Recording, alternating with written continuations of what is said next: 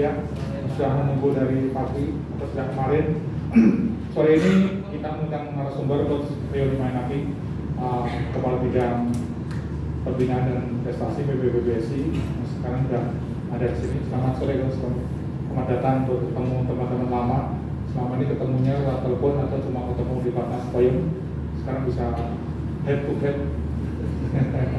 bisa ketemu langsung. Oke, langsung aja kita akan membahas seputar ya semacam evaluasi apa evaluasi dulu lah tentang performa pemain bulu tangkis Indonesia di pentas Ventures Indonesia Open yang kemarin empat wakil di perempat uh, belum berhasil maju ke babak empat besar.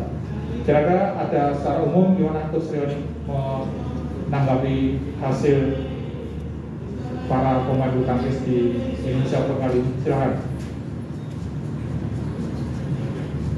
Tes. Ya selamat pagi. Ya siang, selamat siang ya. Jadi apa nih eh, untuk melihat hasil yang kemarin ya, tapi ada di sebelumnya kita Master Open kita sempat ada di final dan satu juara ya. Jadi sebenarnya dari apa nih keseluruhannya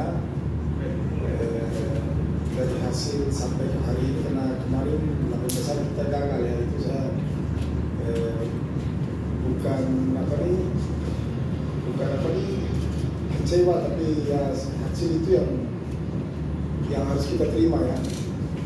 Dari apa nih untuk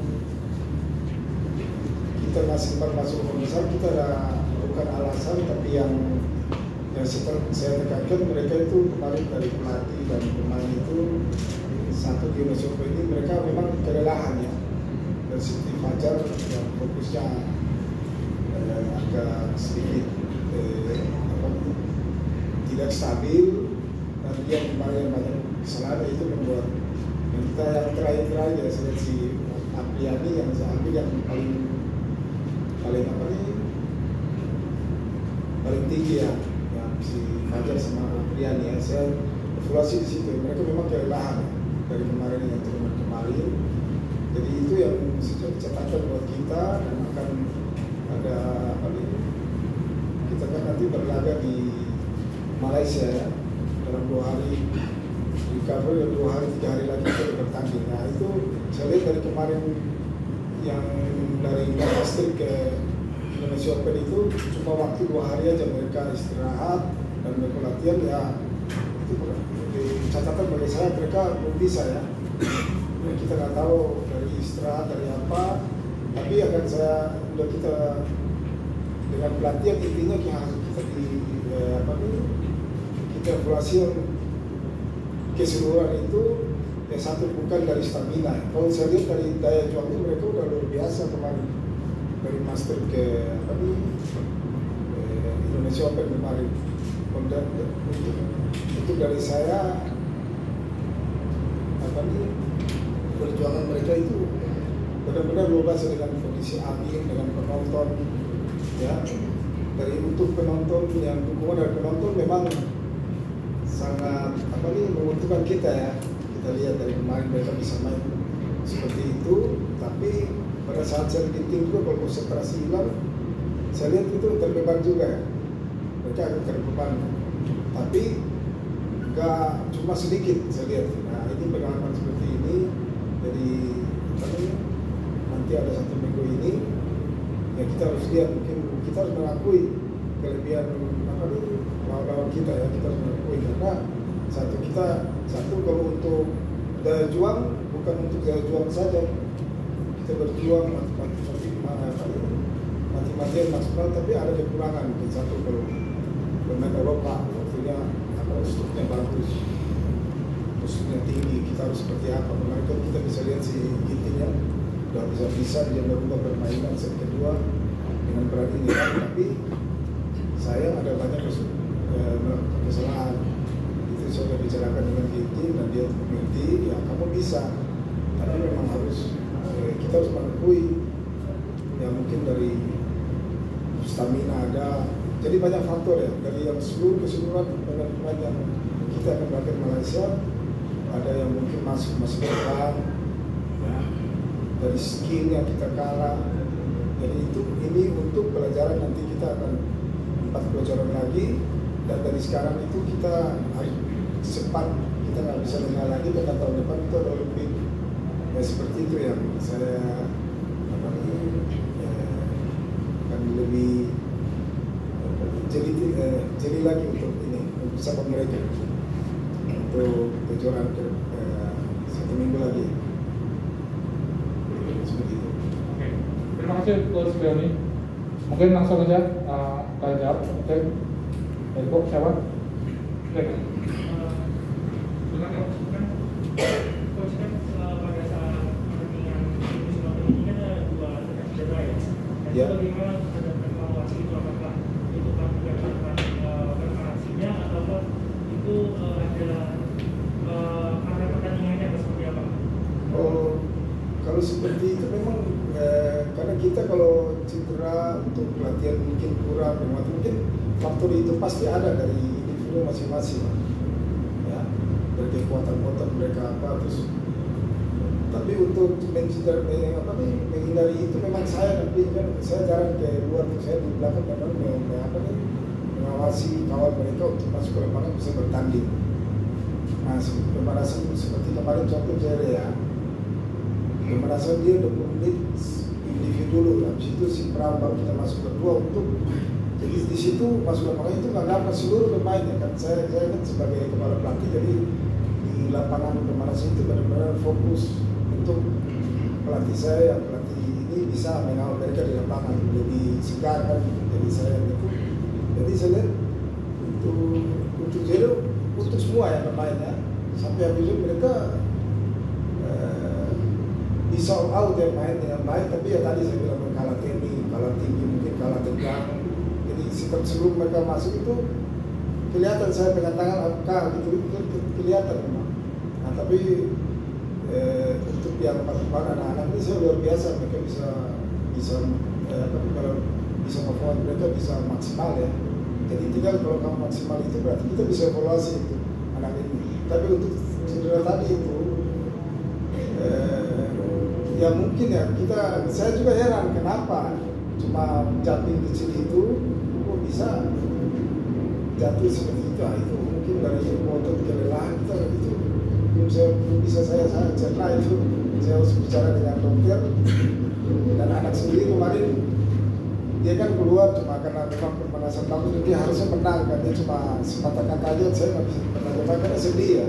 Saya cuma dia cuma minta maaf ya saya sedih ya karena memang benar-benar kita siapkan untuk menang kemarin itu cuma yang faktor cedera ini saya belum bisa ulas lebih dalam.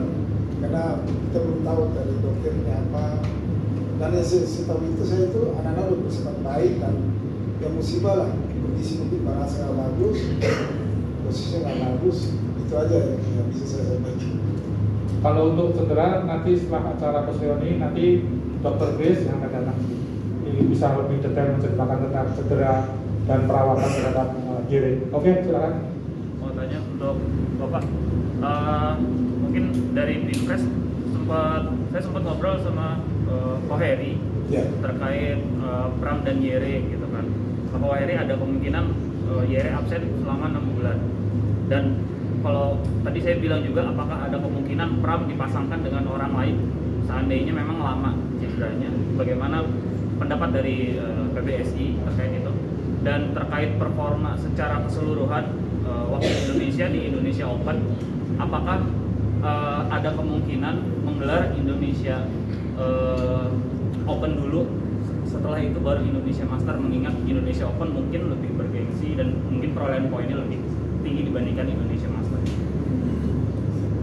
ya kalau itu memang ya kamu bicara berarti memang saya sempat ada 10 menit ya membicarakan itu. Ya kemungkinan seperti itu kayak kita usulin seperti kan penting kan kayak Malaysia juga masih open dan setelah itu baru master ya. Tapi kita jangan buat alasan ya ada menentukan juga kan kalau kita master dulu kita lebih menguasai arena kan suasana lapangan. Ada menentukan juga cuma besok bisa cover bisa sebenarnya sangat menentukan sih. Nah fokusnya konsentrasinya kok nggak bisa lama itu aja sih. Karena di Indonesia ya di Indonesia tadi yang tentang nih yang dipertanyakan tentang mengganti itu masih ya itu diskusi ya. Kalau memang terlalu lama terus sekarang belum tahu Nigeria bisa main dia melakukan operasi kita belum tahu dia tidak bisa jawab. Tapi pasti kalau dia selevel Pramili sama kolektornya kan udah ya 10 ke atas ya. Kalau dia itu yang paling ditakutkan begitu kita pemain yang top satunya cedera. Ya saya pemain sangat baik gitu kan jadi kita mencari pemain yang gampang seperti itu lagi Pak. Ya, mungkin tambahan dikit, kenapa Indonesia masa Indonesia Open uh, back to back itu karena pandemi. Dulu kalau nggak ada pandemi kan Indonesia Master digelar bulan awal tahun Januari, sementara Indonesia Open-nya selalu bulan Juni. Itu aja. Satu lagi Mas Broto. Yang lain udah kasihan lagi Oh, iya. Eh, Oke, yuk. Uh, ngomong-ngomong soal stamina tadi yang menjadi alasan uh, kan itu juga sudah terjadi dari, dari 2021 coach. Jadi setelah 2020 ada pandemi dan sempat tertunda beberapa turnamen, akhirnya 2021 kan sudah tertutup. Apakah mereka belum terbiasa dengan turnamen yang memang kalau dibilang sekarang lebih teratur juga sih 2022 kan, mulai 2021. Ada strategi sendiri untuk berubah mungkin takutnya ada yang mepet-mepet lagi. ya memang itu eh, kebetulan ya tanya ini saya juga ngomong dengan Kiki karena tadi yang saya beritahu kita ada bukan ini ya tapi memang dari postur dari pak solusi-solusi itu sudah saya bicarakan dan pelatihnya kita memang harus di lapangannya ya kita harus bertahan di lapangan. Kalau saya lihat dari latihan fisik sudah cukup bagus di sana. Dengan program-program yang ada di bagaimana Kyoto Max kita udah ada cuma fightnya di lapangan dia tahan lama fokusnya bisa lama di situ saya rasa. Saya nggak ada masalah tapi bagaimana dengan tapi pasti ada lah kekuatan seperti tadi Jerry. Kekuatan itu kita nggak tahu lah. Nanti saya evaluasi tadi ya kira apa nih eh seluruh pelatih kira-kira apa. Ya, tapi itu tidak membantu kalau saya rasa kita fokusnya aja. Tapi satu yang itu kan ada yang badannya kuat. Kan itu dari apa nih turunan juga kan.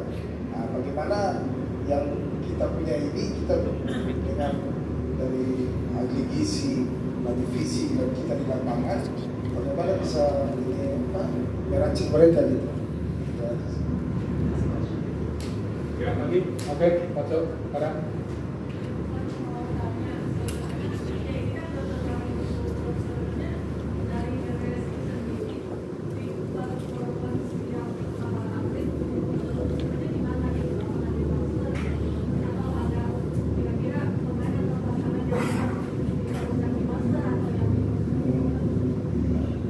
Kalau itu eh, kalau pertanyaan seperti ini selalu saya bilang, kejuaraan yang kita ikuti kejuaraan kita harus yang maksimal dan harus kita harus targetkan juara. Jadi kita nggak pandang dulu dari harus targetkan ke tapi pasti ada dari atlet sendiri pasti ada lah. Saya rasa nggak itu nggak terlalu ya, eh, nggak terlalu mengganggu tentang performance mereka karena yang kemarin kan mereka si Fajar bisa sampai final. Tapi berikutnya kan konsentrasinya ya itu memang jadi jadi apa catatan. Karena kita nanti menghadapi yang sama. Malaysia, Malaysia Open, Singapura dan daerah pindah-pindah jadi untuk saya mereka udah maksimal. Tapi ya bagaimana ya saya mau pelatih-pelatih bisa benar-benar kontrol istirahatnya apa ya dalam satu minggu ini. Memang udah lama ya. Tapi ya pertandingan berturut-turut ini kemarin di pernah di eh, Swiss sampai di Korea itu memang melelahkan kan.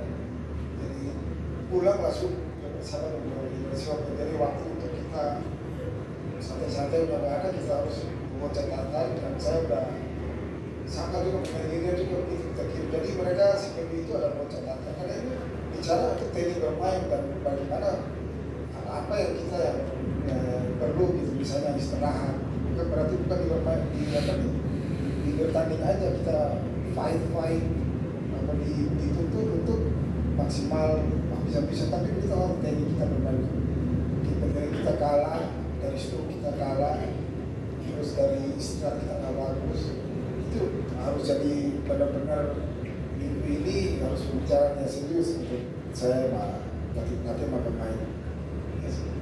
Oke. Lagi? Oke lah, apa? Udah. Eh, terakhir mungkin kirain Eh, Coach Yudi, eh, sebagai masyarakat Indonesia pasti cukup kecewa dengan performa ganda putra di Indonesia Open ya Coach. Eh, nomor satu, nomor dua kalah gitu. Eh, kalau Marcus kemarin kita sempat tanya bahwa kondisi fisiknya ternyata baru 80 persen Coach. Ya. Lalu kalau uh, Ahsan Hendra juga mengakui bahwa mereka fisiknya memang eh, nggak bisa back to back turnamen seperti itu. Lalu nanti strateginya seperti apa Coach? Kan Malaysia Master, Malaysia Open, Singapura. Kalau dipasang terus tiga-tiganya otomatis hampir sama lah kejadiannya seperti hari ini. Apakah nanti akan ada pemilihan turnamen untuk mereka atau Marcus kemungkinan akan recovery dulu atau seperti apa gitu Coach? Terima kasih. Oke, kalau eh, memang kan tahun kemarin kan kita karena jarang kejuaraan, ya. Dan mereka kan menuntut kejuaraan terus. Nah, setelah kita dapat kejuaraan mungkin timbul seperti ini kan, mereka kaget mungkin. Tapi kalau ini juga pernah ya, saya sudah sampaikan mereka. Saya rasa kalau untuk dibicarakan tentang ya mungkin faktor aksan sama Hendra memang mereka rajin yang mungkin ada kendala dengan apa nih kekuatan otot apa apa ya tapi kalau muda saya rasa kalau untuk bisa lihat dia latihan satu hari dua dua jam terus ada sore tambahan. Saya rasa untuk satu jam bertanding habis itu saya nggak masalah. Cuma ya bagaimana dia maunya aja itu saya rasa nggak masalah. Kalau untuk saya ya karena saya pengalaman bukan pengalaman yang untuk anak-anak saya anak-anak sekarang ya. Karena beda sama otot kita pemain dulu ya. Pemain dulu itu memang kuat kuat. Makan nggak pernah pilih apa apa aja kita aja latihan tambahan terus nah ini yang saya mau sekarang ke mereka. Tapi kan Dedi Sian sama Aksan ya? Dia kan udah umur ya dia atur masih bisa atur. Nah itu mungkin kenapa dia bisa ngomong seperti itu? Saya lihat kemarin dan setelah habis bilang kamu bagus kamu udah nih serangan kamu finishing kamu udah bagus. Ada tapi memang lawannya lagi kena semua. Nah seperti kemarin Cina si Fajar juga begitu. Nah bagaimana ya itu yang dibilang teknik bermain kita harus lebih dikit harus ada main kecil karena Cina pemain keras itu kalah. Nah ini kan seperti ini ya. Mungkin kalian udah wartawan atau fans-fans itu kan tahu kalau main kalau Cina itu seperti apa. Nah ini yang karena itu memang kalau kita nggak buat catatan dalam lapangan itu nggak gampang tuh. Kalau kita suruh net suruh net kalau kita kanan bisa bisa ngangkat. Nah itu kendala di pelatih sama pemain ya bagaimana bisa komunikasi dalam waktu sedetik dua detik dengan apa nih apa nih eh, ini bahasa tubuh aja mereka bisa ngerti karena kan kan penonton itu kita Fajar aja begini kok pelatih kamu ngomong apa sih udah nggak dengar jadi saya istri coba kalau bisa kalau bisa begini berarti nah tadi kan kita kejuaraan banyak tapi untuk ini solusi saya itu begini kalau kita banyak-banyak kita mau lihat sekuat mana mereka kan tahun depan Blaze nah itu sebisa mungkin mereka masuk di 30 ke atas dan kita nggak usah entry lagi. Tapi yang muda-muda lagi naik ini kalau dia entry lagi kita mau program lagi masih terganggu karena saya lolos apa enggak lolos apa enggak nah kalau tahun depan kita ikut banyak-banyak dengan apa cadangan-cadangan poin itu udah ada nggak nggak apa nih turun gratis tuh. Tahun depan untuk lebih kita udah bisa ngatur setiap kejuaraan kalau seperti itu ya. Oke, satu lagi. Hah? Oke, Pak. Eh, selamat sore Gus. Melihat prestasi di sektor tunggal putra khususnya Gus yang bisa dikatakan konsisten. Apakah sudah saatnya Gus oh, Coach Alam saya buat saya ini punya anu baru atau seperti apa nih Gus? Si maksudnya ada Untuk untuk meningkatkan dia kalau secepat mungkin saya harapkan karena dia kerja sendiri kan. Dengan dibantu pelatih ini kadang-kadang saya kan saya ada di Sektor saya putar kadang-kadang ke sini dan sebenarnya kalau program seperti ini saya lihat ya dari kemarin-kemarin pernah program yang dijalani tetap masih ya mungkin ada beberapa kita di apa nih dari struktur apa semua mata kan? Yang saya lihat sedikit kemarin jadi bukan masalah di pelatih tapi memang iya kalau tenaga memang perlu. Kalau masalah di, di situ tetap banyak kondisi kan kemarin angin bagaimana kondisi angin ini dia bisa finishing bisa batasi yang bagus. Kondisi ini dia solusinya apa? Mungkin mau lebih lagi kan di situ. Terus udah jumping segini buangnya badan ke mana bisa keluar. Kita tahan. Badan itu itu udah kita bicarakan. Tapi saya rasa untuk pelatih memang kita perlu bantuan.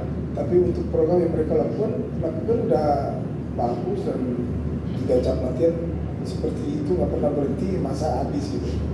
Nah mereka bisa sabar apa enggak? Dan saya udah kasih tahu. Untuk saya tarik lagi ke belakang bagaimana bisa sabar sama kuat itu ada program tersendiri saya sudah sampaikan. Ya saya nggak perlu sampai ke sini. Seperti ini kamu harus lakuin coba ya coba dan mudah-mudahan bisa ya tapi bilang penting karena satu dengan dua beda ya. Oke, oke teman-teman media itu acara bersama bersama dengan Kabit Binpres PBBT Pak Rioni Mainaki. Terima kasih atas kehadiran. Jangan sampai lupa berapa menit lagi nih. Nanti setengah lima